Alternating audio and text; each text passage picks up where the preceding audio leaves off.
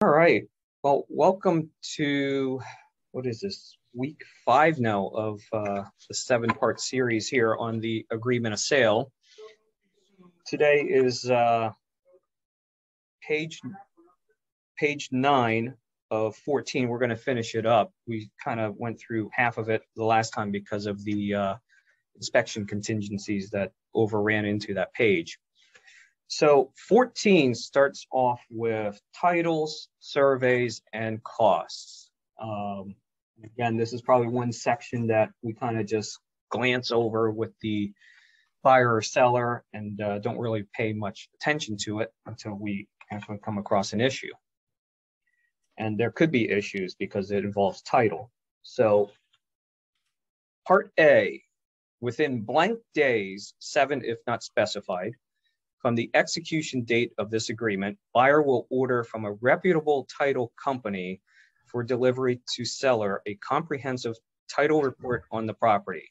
Upon receipt, buyer will deliver a free copy of the title report to seller. So that's really important because that right there says the seller gets a copy of this um, report. And Seth is always after these title companies to get a copy. And some title companies are very um, easy with it because they know him and they'll send it right over.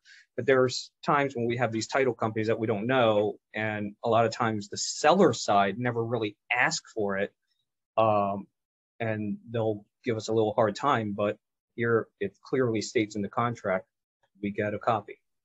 Okay, at least on the seller Did you share the document, Paul? I can't see it. I'm sorry. Oh, I'm sorry. Okay. Maybe that'll help.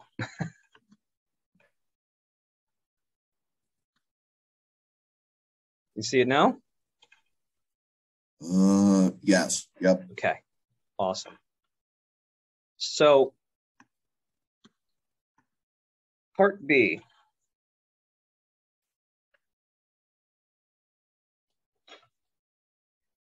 Buyer is encouraged to obtain an owner's title insurance policy to protect buyer, okay, even if they pay cash.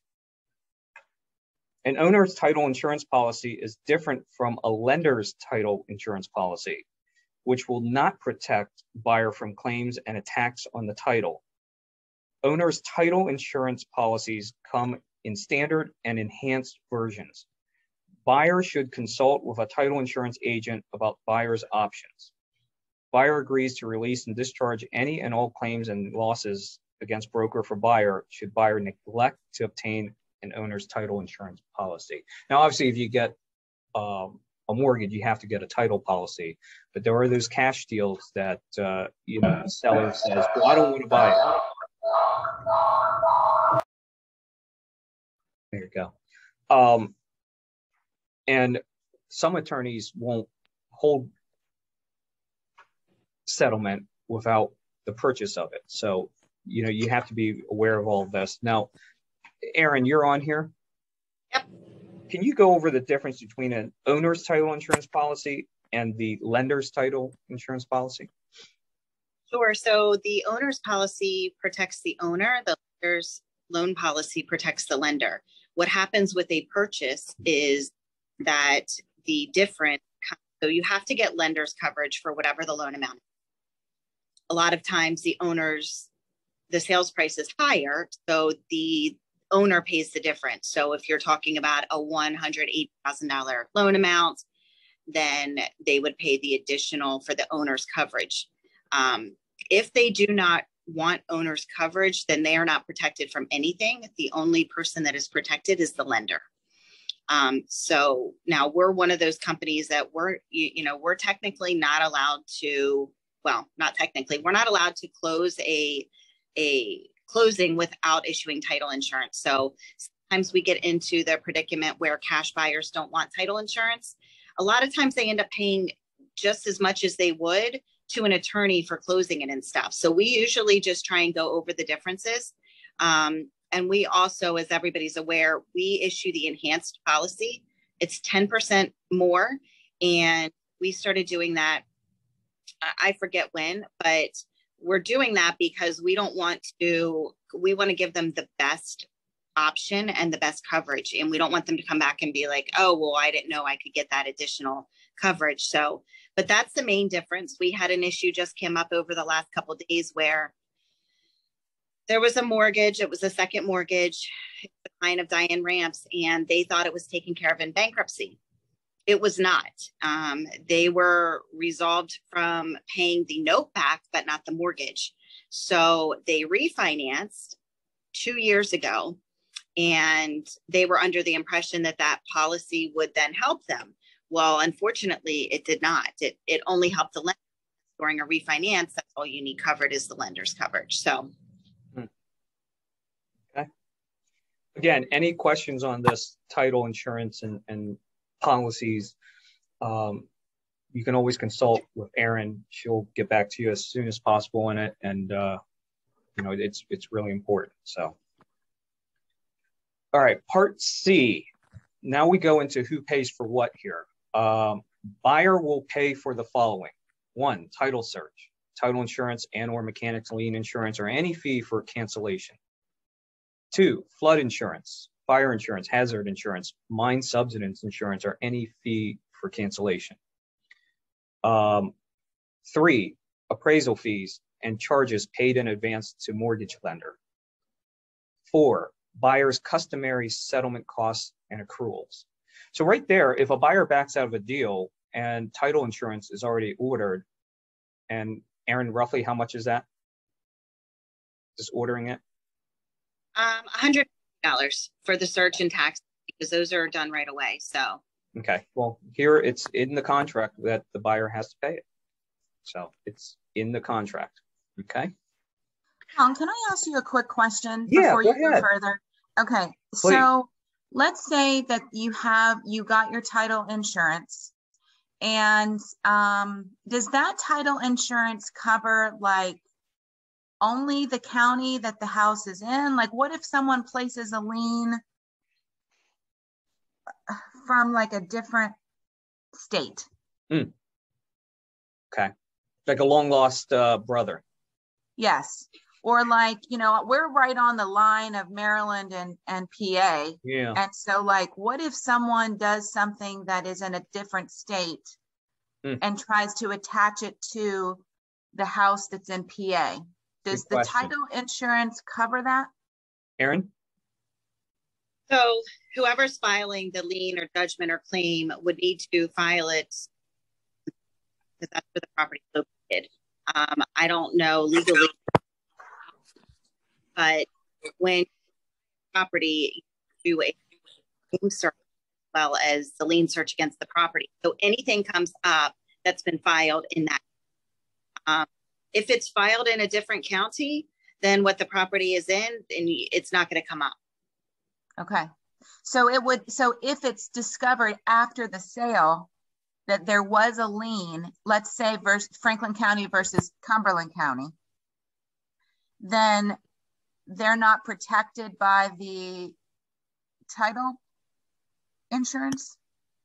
I mean, I guess it, I'd have to know like all the details. So that's something that you and I could talk about after. But there is like an actual, you know, there there's a, a lien search done on the buyers and or sellers. If it's filed in, are you saying like it was filed in the county? Yes.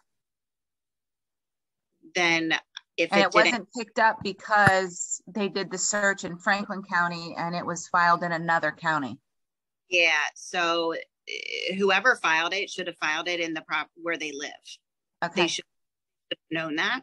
But yeah, so when you do a search, you don't the buyer search. There's no there's no courthouse that holds everything. right. So yeah, so when you're doing a buyer search or a seller search, the only you know, so the title insurance would not protect that that person per se. Okay. Okay, thank you. All right. Part D. Any survey or surveys required by the title insurance company or the abstracting company for preparing an adequate legal description of the property or the correction thereof will be obtained and paid for by seller. Any survey or surveys desired by buyer or required by the mortgage lender will be obtained and paid for by buyer. Okay. So there you have the dividing line of who pays for the survey um, if there's a discrepancy. Okay. E, the property will be conveyed with good and marketable title that is insurable by a reputable title insurance company at the regular rates, free and clear of all liens, encumbrances, and easements, excepting, however, the following existing deed restrictions, historic preservation restrictions or ordinances, building restrictions, ordinances, easements of roads, easements of visible upon the ground, easements of record, and privileges or rights of public service companies, if any. Okay. Um, F. If a change in seller's financial status affects seller ability to convey title to the property on or before the settlement date or any extension thereof, seller shall promptly notify buyer in writing. A change in financial status includes, but is not limited to, seller filing bankruptcy, filing of a foreclosure lawsuit against the property, entry of a monetary judgment against seller, um, notice of public tax sale affecting the property, and seller learning that the sale price of the property is no longer sufficient to satisfy all liens and encumbrances against the property, also known as a short. So there you have it. Um, I think that has come up a couple times um, in the past, not so much recently because everything's selling at a higher price to cover any shortfall. But uh, you know, years ago we've had some issues there where all of a sudden the the seller owes a little more than had thought. So just be careful of that. Definitely try to get uh, proof of a payoff uh, or some kind of statement to show that the, your sellers owe a certain amount. And if it's very close to the sales price minus fees, you probably should order a payoff right away just to make sure. Okay. Uh, part G, if seller is unable to give good and marketable title that is insurable by a reputable title insurance company at the re regular rates as specified in paragraph 14E, buyer may terminate this agreement by written notice to seller with all deposit monies returned to buyer according to the terms of paragraph 26 of this agreement. Or the buyer can take such title as seller can convey. Okay. If the title condition precludes seller from conveying the title, meaning the seller can't sell the property, um, buyer's sole remedy shall be termination. And upon terminating, all monies will be returned to buyer according to the paragraph 26 of this agreement. And the seller will reimburse the buyer for any cost incurred by buyer for any inspections or certifications obtained according to the terms of this agreement and for those items specified in paragraphs 14C, 1, 2, 3, and 4 and paragraph 14D. So if the if for some reason the seller can't give reputable title, um, clear title on this property, they're going to have to reimburse the buyer if the buyer terminates. Next section talks about uh, paragraph H, oil, gas, mineral, and other rights of this property may have been previously conveyed or leased, and sellers make no representation about the status of those rights unless indicated elsewhere in this agreement. Okay. Um, where would they indicate it? Well, the next box has a checkbox, oil, gas, and mineral rights addendum, or par form OGM, and it should be attached to this agreement of sale. Okay.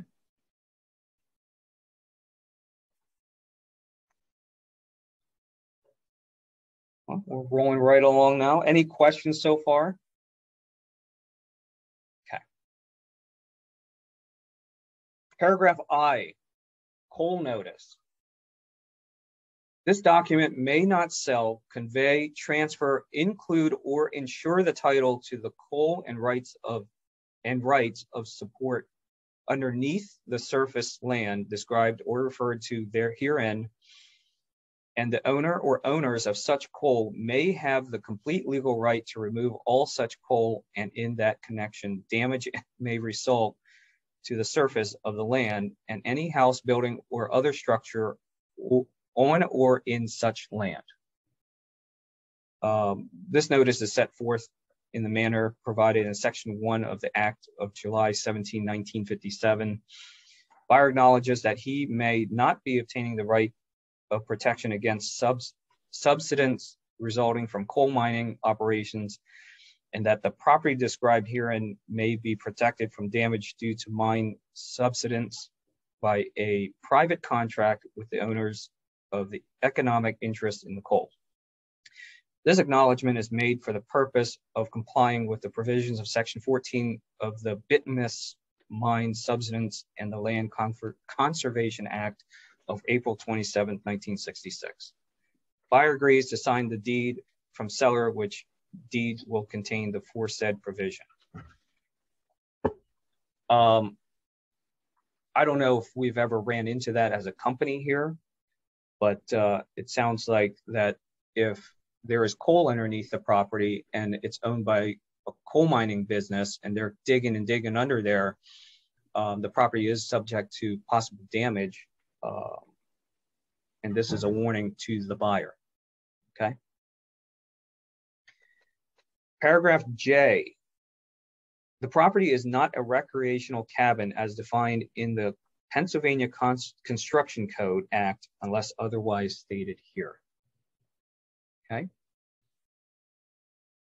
That's for your properties that are on, I'm not sure if it's on state ground or not, um, or, or, you know, or lease land, um, where the construction code is a little different than what is for residential. Okay. Has anybody ever dealt with that before here in our office or on this call? I dealt with one Kong that was on lease land. Okay. Was that the one we talked about? Was that your father's? No, my father's actually was on its own land. Okay. Um, but I did do one on lease land um up in Caledonia. Mhm. And it was um the longest part honestly for that is like the district forester has to approve it. Mm. And that was just like a very long process to get it to the state, get them to approve everything and then get it back. And they do have very, very strict rules that I don't think everyone is aware of. Okay. Interesting. Um, how did you find out about that, or was it already known that the seller relayed to you, or how did you find out about it? I knew it was on lease land because it was in the listing. Okay. And I knew that it had to go to the district forester because of the other agent on the other end. He Okay. previously dealt with a cabin in that area. But then also, whenever we did receive like the rules and regulations and stuff, it was in the rules and regulations that any like anybody that purchases it can only purchase it cash. They had to be a resident of Pennsylvania. Mhm. And again, they had to approve like who was going to live there. Mm. Okay. And the people had to agree to all the rules. And then basically they're waiving their rights of the land. And it says right in the contract or like the agreement that if the district foresters wants any part of that land back, they technically can take it. okay. So it's kind of risky, I mean, for the buyer because really they own the house. And technically, if the district forester wants, they could take everything up right into your front door. Okay. Hmm, Interesting. Um, We do a lot, we do a lot of those leased lands in this area because of that, uh, state park, that Yeah. forest. They usually take anywhere from four to eight weeks for all of that approval. Okay. So 30 day settlement is not usually very uh, doable then. No, definitely not. Okay. Just keep that in mind when we're dealing with these leased ca- uh, recreational cabins in Pennsylvania. Um, paragraph K. This was new to me when I did this and uh, I was going to do a little more research on it. But uh, this is talking about private transfer fees. Um, this property is not subject to a private transfer fee obligation unless otherwise stated here. Okay. And if it is, then there is a private transfer fee addendum to the agreement of sale. Okay. It's for par form PTF. So number two, uh, underneath K, paragraph K, is this is a notice. Notices regarding private transfer fees. Okay. In Pennsylvania, private transfer fees are defined and regulated in the Private Transfer Fee Obligation Act, which defines a private transfer fee as a fee that is payable upon the transfer of an interest in real property or payable for the right to make or accept the transfer. If the obligation is pay the if the obligation to pay the fee or charge runs with title to the property or otherwise binds subsequent owners of property, regardless of whether the fee or charge is a fixed amount or is determined as a percentage of the value of the property, the purchase price or other consideration given for the transfer. Private transfer fee must be properly recorded to be binding and sellers must disclose the existence of the fees to prospective buyers. Where a transfer, where a private transfer fee is not properly recorded or disclosed, the act gives certain rights and protection to the to buyers. So I've never ran into this again, but apparently um, RPAC, um, you know, they every year our local board calls us individually and, and asks for a donation to, to help with RPAC um, make legislations or, or lobby against certain legislation. And I actually looked it up um, for Pennsylvania, this private transfer fee on YouTube. And I guess it was about 10 years ago, RPAC was trying to get rid of all of these in Pennsylvania.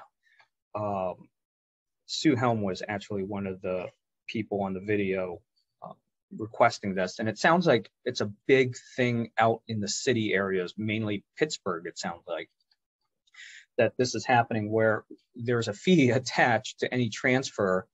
Uh, who knows who gets the fee? Probably maybe the de original developer or, or somebody uh, at the beginning of the chain. And every time this product gets transferred, you pay either X amount or a percentage of the sales price. So uh, again, the seller should know this if they've paid it when they went to settlement and it was presented to them in such manner. Uh, but sellers may not know because you know you have a laundry list of fees, closing costs when you buy, and you don't realize that hey, this fee is going to occur every time when you sell this property. So just be careful of that. I I don't know that we have that here, so I've never seen it. If anybody has, I'd love to hear it. But uh, it sounds like from the video, it's a big thing out in that Pittsburgh area. So, okay. All right, last section here for today, uh, 15, notices, assessments, and municipal requirements. A, in the event any notices, sorry, in the event any notices of public and or private assessments as described in paragraph 10F excluding assessed value are received after seller has signed this agreement and before settlement, seller will within blank days, five, of receiving the notices and or assessments provide a copy of the notices and or assessments to buyer and will notify buyer in writing that seller will, okay? So perfect example of this, and I'm sorry I keep scrolling here. I don't know why my computer keeps doing it automatically. Um, but for just for an example, um, years ago we had a property that was under contract in the borough of Carlisle, right by the Sunnyside Diner where it used to sit. And we're under contract, you know, four weeks in, um, seven week settlement. And the seller gets a notice that says, hey, we drove by your property, your sidewalk needs replaced. Okay.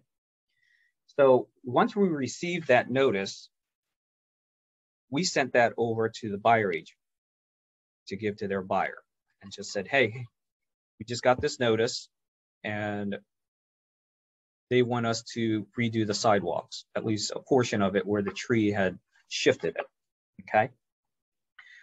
So from there, after we gave notice, paragraph one, um, this, if the seller complies, if our seller says, all right, we'll fix it, fully complies with the notices and or assessments at seller's expense before settlement, if seller fully complies with the notices and or assessments, comma, buyer accepts the property and agrees to release in paragraph 28 of this agreement. Now, if the seller says, well, I'm not going to be living there anymore, uh, the buyer can pay for it. Okay. So number two, seller does not comply with the notices and or assessments. If seller chooses not to comply with the notices and or assessments or fails within the stated time to notify buyer whether seller will comply, comma, buyer will notify seller in writing within five days that buyer will A, comply with the notice and or assessments at buyer's expense, accept the property and agree to the release in paragraph 28 of this agreement. Or B, the buyer can terminate this agreement by written notice to seller with all deposit monies returning to the buyer.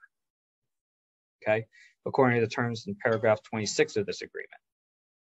Now, if the buyer fails to respond in that time period, the five days, or fails to terminate this agreement by written notice to seller within that time frame, then the buyer will accept the property and agree to the release in paragraph 28 of this agreement. Okay. Um, any questions on that portion, part A? Okay. Part B. If required by law within blank days, 30 is the pre-fill. Yeah. I'm sorry, I did have a question. Yeah. So if, if they fail to respond, then sort of by default, then they would be responsible for repairing it once they take possession, right? Yes. Okay, okay. Yes. Yep. Absolutely. Then then they're they're willing they're they're going to have to accept it. Now, where it becomes tricky is if it has to be done before settlement. Okay. So all that has to be worked out. Um, B, if required by law within blank days, 30 is the default from the execution date of this agreement, but in no case later than 15 days prior to settlement date, seller will order at seller's expense a certification from the appropriate municipal departments disclosing notice of any uncorrected violations of zoning, housing, building, safety, or fire ordinances and or a certificate permitting occupancy of the property. If buyer receives a notice of any required repairs improvements, buyer will promptly deliver a copy of the notice to seller.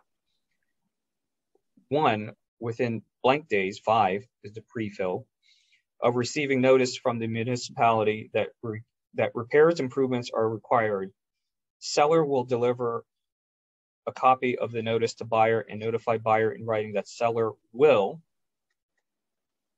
A, make the required repairs and improvements to satisfy the municipality. If seller makes the required repairs improvements, buyer accepts the property and agrees to the release in paragraph 28. B, sellers will not make the required repairs. If seller chooses not to make the required repairs and improvements from the, from the municipality, buyer will notify seller in writing within blank days, five again is the default, that buyer will accept it and accept a temporary access certificate or temporary use and occupancy certificate and agree to the release in paragraph 28 and make the repairs at buyer's expense after settlement, okay? Or two, terminate this agreement by written notice to seller and get all their deposit money back. The buyer gets all the deposit money back.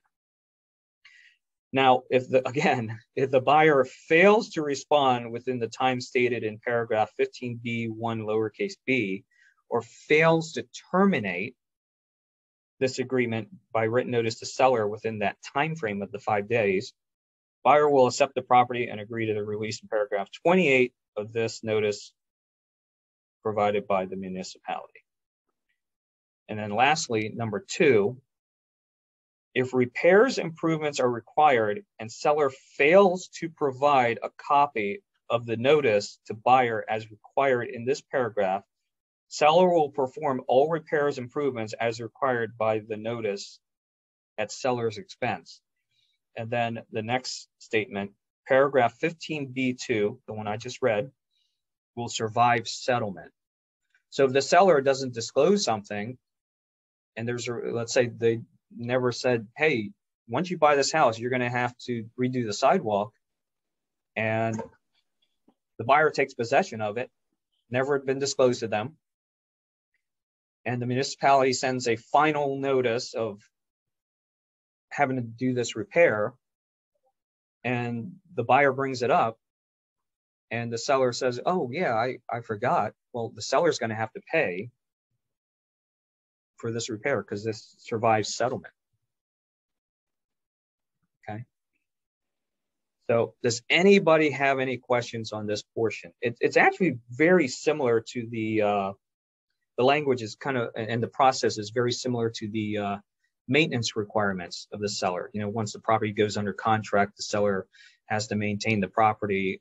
And if a hot water heater goes out, then, you know, the seller has, uh, they can either fix it, um, tell the buyer they're not fixing it, and then the buyer can terminate. So it's very similar language to that. Hey, Tom. Yeah. Um, what if they would get a notice, and this is just a hypothetical, it's not anything I dealt with, but Sure. what if they would get a notice that says something like, um, within a year, you're going to be expected to hook up to public sewer?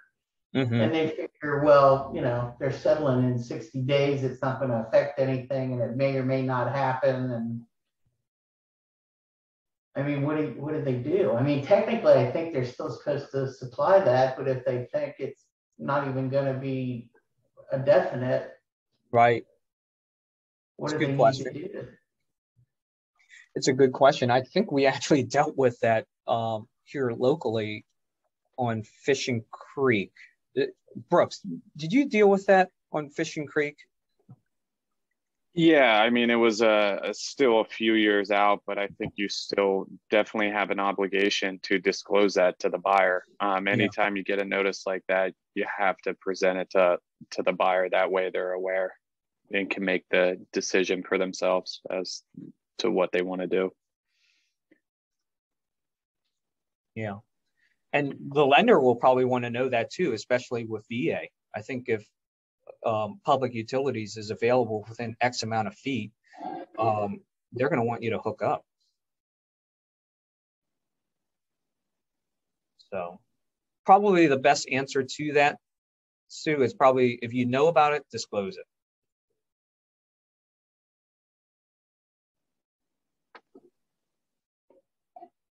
Any other questions?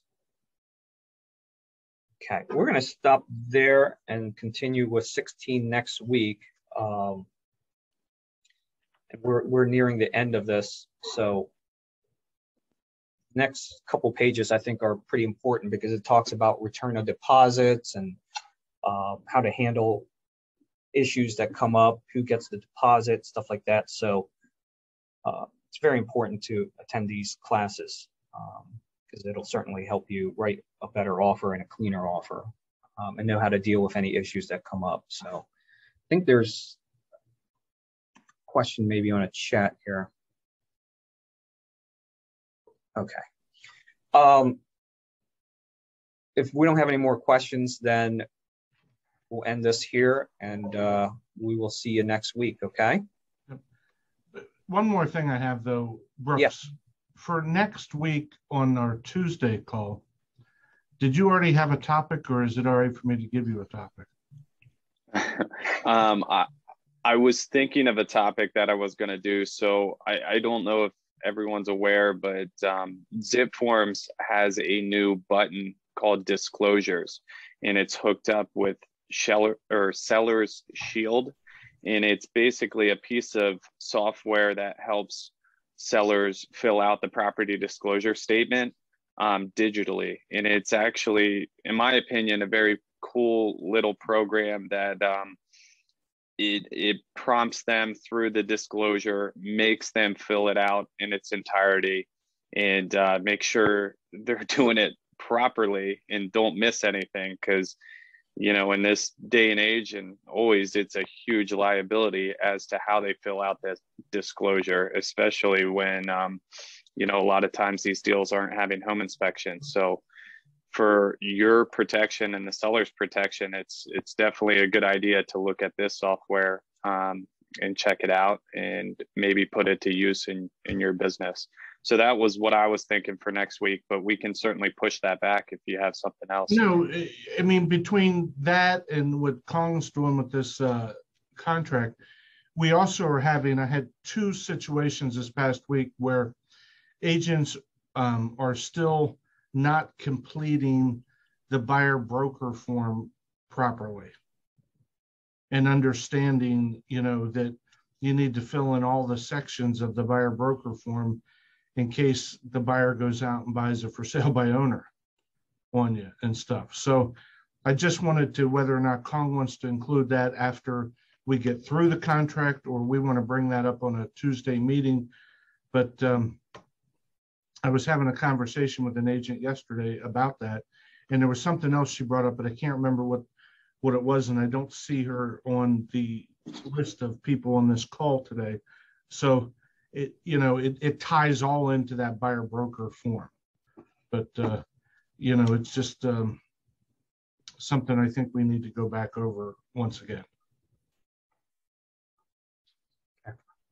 Yeah. Definitely. Yeah, we can either do So that I, I don't know on whether Tuesday Kong, or you want- to do it Kong on at the end of this? Yeah, we can do it real quick. Um, really, the the the main parts of the buyer agency form is all the fill in the blanks. Yeah. Um, But a I'm not talking about today. I'm just saying, do you Yeah. want to add it to this portion of your Thursday call or do we want to do it on a Tuesday call? No, we we can do it on on a Tuesday call. Um, Okay. let's see where Brooks goes with the the zip forms, how much time we have left, and uh, maybe we can squeeze in 10, 15 minutes to go over buyer agency real Yep. quick. Sounds good, guys. All right. Thank you very much, both of you. And uh, good job, Kong, as usual. And uh, we'll look forward to next week.